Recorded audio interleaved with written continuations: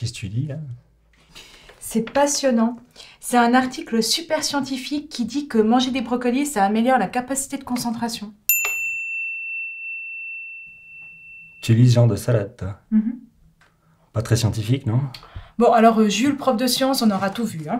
Non, je te dis juste, je les connais moi ces revues, c'est c'est pas scientifique. Je veux dire, euh, t'as pas de référence, t'as pas d'appareil critique, auteur inconnu au bataillon, c'est aussi fiable qu'un horoscope ton machin. Bah, Vas-y, accouche. Brocoli, bon pour la concentration, c'est comme si je te disais, je sais pas, tiens moi, ah tiens les carottes c'est bon pour la vue. Puis je vais te dire un truc en fait.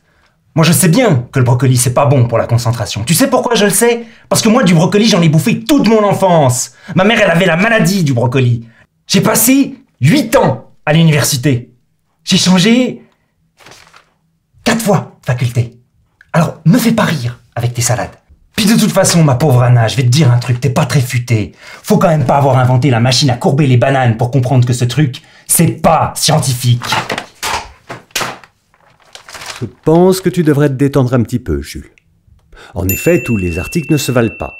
L'article que vous lirez le matin dans le train n'aura évidemment pas la même valeur que celui qui est tiré d'une revue de vulgarisation, encore moins que celui tiré d'une revue scientifique.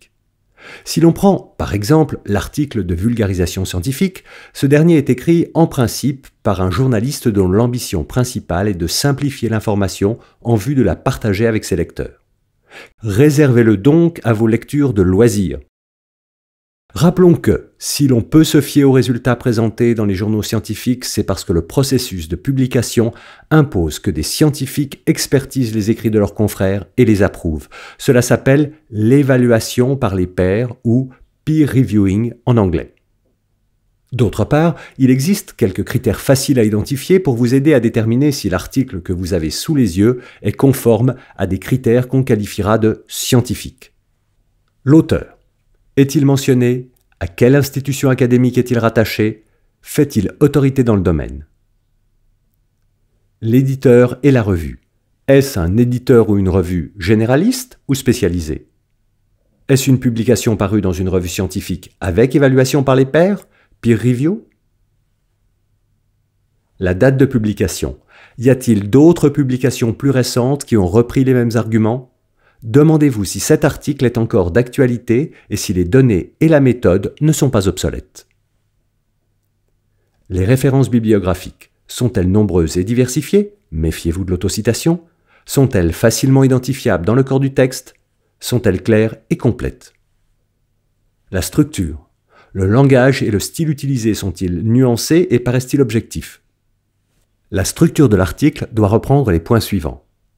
L'abstract. Il s'agit d'un résumé. L'introduction, qui présente l'objectif de l'étude, les hypothèses de recherche et l'état actuel des connaissances sur le sujet. Le matériel et les méthodes, qui expliquent les protocoles utilisés pour mener l'expérience. Les résultats, qui fournissent et interprètent les résultats de l'expérience. Notons que souvent les détails ne sont pas donnés dans l'article, mais dans le matériel supplémentaire disponible en annexe.